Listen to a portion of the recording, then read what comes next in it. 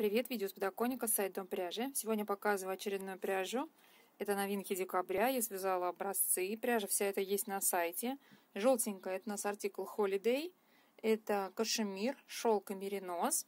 Показываю вам этикетку.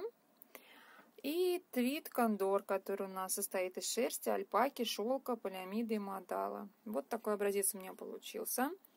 Holiday в одну нить, твит в две нити. Вот покажу поближе, чтобы вам было видно ворсинки. Ну что сказать, Holiday, конечно, это мякушка из мякушек. И цвет такой яркий, жизнерадостный. Прям вот для серых будней самое то. Но ответ я сюда попробовал привязать. Уж чуть-чуть мне понравились здесь вот такие крапки по цвету, подходящие к Holiday. Твит в две нитки. А, стирала, соответственно, хозяйственным мылом и шампунем.